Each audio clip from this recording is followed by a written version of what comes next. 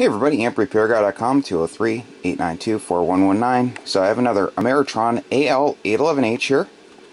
Been real busy, um, haven't had time to do videos, and I always say that, but it's busy, busy, busy. Uh, so I'm going to go through it, do all the repairs to it, and some modifications. So has the old pink resistors for the equalization slash bleeder resistors, has newer caps, but the old resistors.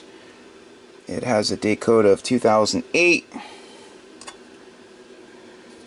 I will ground the grids the better way. Plate choke, plate choke looks okay. The SO239s feel okay. So I gotta take this whole assembly out and check everything over. Uh, look what I did. I actually cleaned my shop. so many people were sending me comments. Mine uh, 922 I have to repair. This radio has to go out for repair. I do not work on radios, but this is my personal radio my buddy gave me years and years and years ago. The receivers messed up. These are going out to a customer. Those are going to someone else. I'm going to move my Spectrum Analyzer. This is a mono band 80 meter amp that will be moved. Clear this stuff off. This is going away. This is going away. That's my test radio. So, looks a lot better, huh? Okay, so I'm to get to work and I will show you the amp when it's all done. Stay tuned. I'm going to try and make this short and sweet. I have the socket assembly removed and I wanted to go over a critical modification that Ameritron does that I don't see in all of the amplifiers. And I always add it.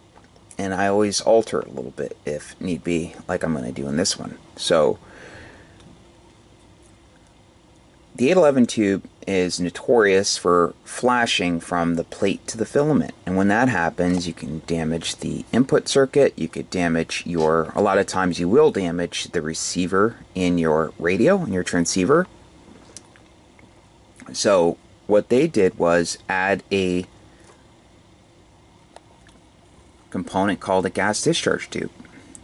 So this one's rated for 150 volts. You know ends up shorting if you know it might not get it'll you know short like an intermittent and then if it does it too many times it'll short you know completely short. You know if if the rated voltage is is met. So they added one over here on one side of the filament. And they also have metal oxide varistor that's actually failed.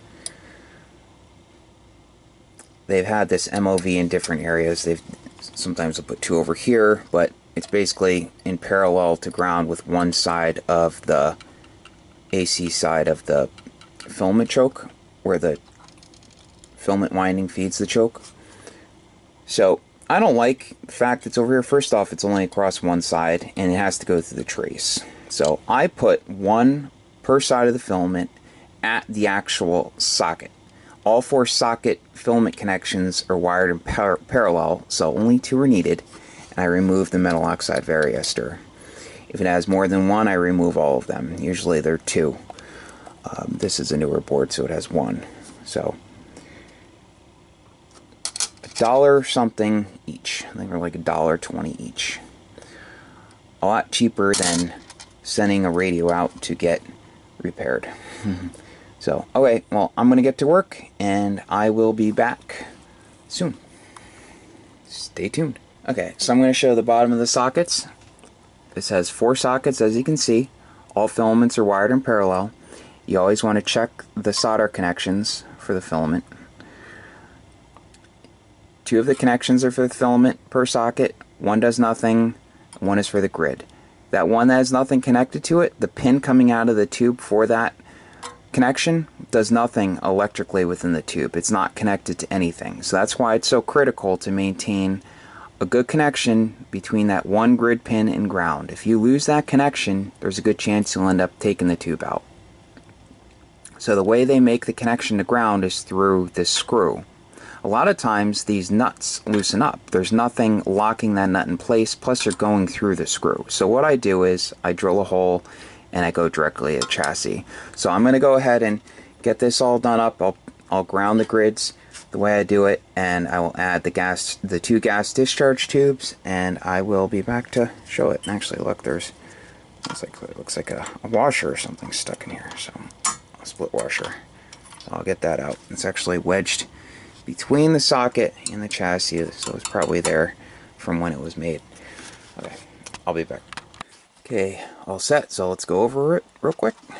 So each grid connection goes directly to the chassis now through a screw with a cap nut. I reuse the tab and I solder it.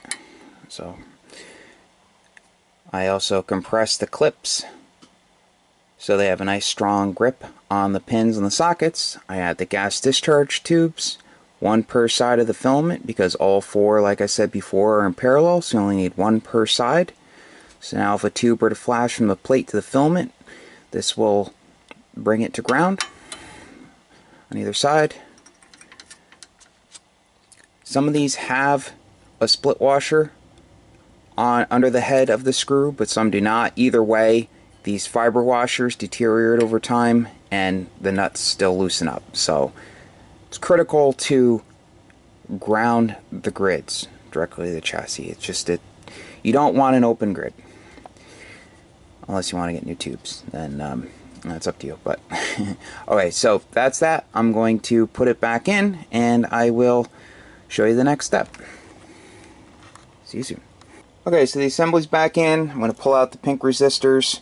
These are prone to failing. Caps are good, newer style, so we put good resistors in. The caps last for years and years. Um, you know, the resistors, from what I've seen, are usually 99.9% of the time the reason why the cap fails. And it's the pink ones that fail. So, do that. And also don't forget to reinstall your safety choke. That stops DC from appearing on your output coax if your plate blocker or plate blockers were to fail, depending how many are in the amp. It says two. Also, before you take the shaft out, I always mark it so I get it back into alignment that input rotary is out of alignment, when you go to key it, the RF won't go to the proper pi input coil, and your transceiver will see a high SWR. Okay, so that's that. I will be back once I have these removed and the new ones installed. Stay tuned. The bleeder slash equalization resistors have been installed, 50k, 10 watts. I replaced the voltage divider circuit resistors. One of the legs was snapped off, so put new resistors in, new heat shrink, reconnected the wire. That feeds back to the center tap of the filament. So everything else is all set. Also replace the meter protection diode. New set of Pentalab tubes, match quad, awesome company. Can't say enough good stuff about them. Great people over there. So, if you need an amplifier repaired, feel free to give me a call. There's my website and my phone number. amprepairguy.com 203-892-4119. Please like, share, and subscribe. I'd really appreciate it. Catch you later.